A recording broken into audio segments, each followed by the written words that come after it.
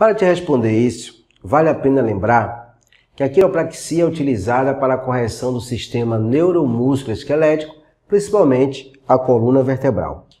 Então a coluna é envolvida por músculos e nervos e é formada por ossos e articulações.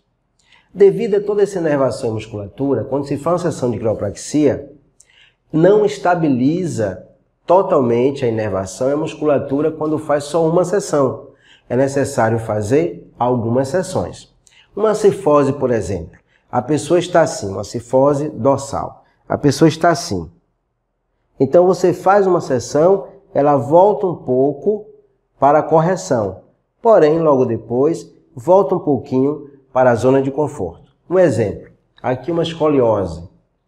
Então, ela está assim. Você vai tratar do desvio, ela faz isso. Porém, ela volta um pouquinho. Vai voltando um pouquinho, ela vai ficando e voltando um pouquinho. Puxada pela musculatura e a inervação. Há várias sessões que seja necessário, vai depender totalmente de uma avaliação e vai depender de vários fatores. A idade da pessoa, se ela é uma pessoa sedentária ou não, se ela faz musculação, faz um pilate, pratica exercício físico, tudo isso é levado em conta.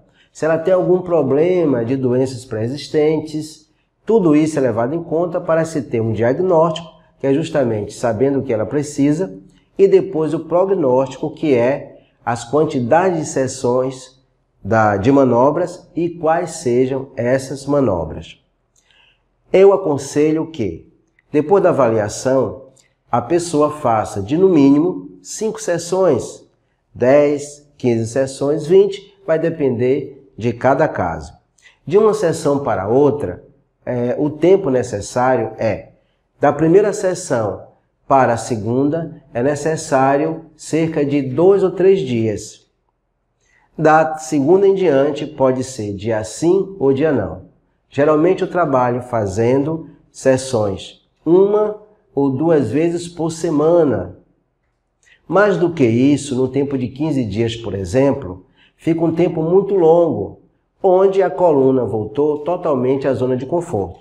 Porque uma vez que a pessoa tem um desvio, assim por exemplo, quando ela tenta alinhar por si mesma, vai doer. Então vai voltar para a zona de conforto e assim por diante. Então a cada sessão, a coluna vai voltando, vai sendo alinhada até ficar totalmente estabilizada.